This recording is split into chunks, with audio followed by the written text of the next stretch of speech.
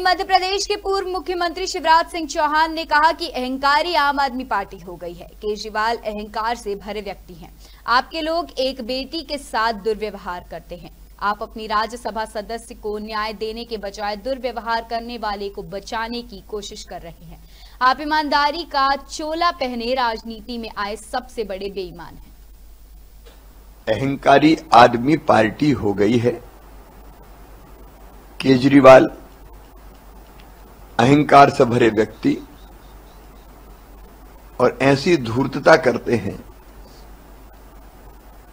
कि झगड़ा उनके पार्टी के अंदर का। केजरीवाल को तो ये जवाब देना चाहिए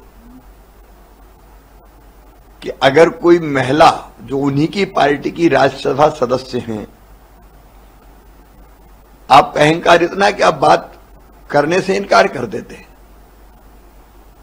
न केवल बात की, बल्कि आपके आदमी, आपके लोग,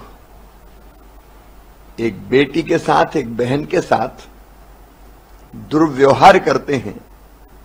और जो खबरें वो तो आश्चर्यचकित कर देने वाली है। दुर्व्यवहार भी केवल शब्दों का नहीं, पिटाई जैसी चीज़ें भी होती है।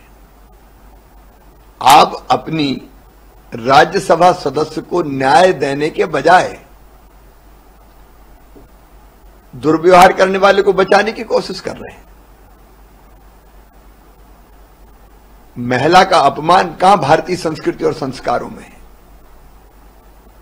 केजरीवाल जी याद रखना, ये वो भारत है जहाँ एक द्रौपदी का अपमान हुआ था तो महाभारत हो गया था। और वंश सहित विनाश हो गया था दुर्व्यवहार करने वालों का। ना तो आप बचोगे, ना आपकी पार्टी बचेगी। और नोटंकी कैसी? झगड़ा आपका, आपके घर का, आपके परिवार का। और प्रदर्शन करने हमारे यहाँ आ रहे हो। ये धूर्तता नहीं तो क्या है? ईमानदारी का चोला पहन के राजनीति में आए, सबसे बड़े बेईमान हो आप। और धूर्तता की पराकाष्ठा है आप में। इसलिए आपका भला नहीं होने वाला ये अहंकार और बेईमानी आपको ले डूबेगी।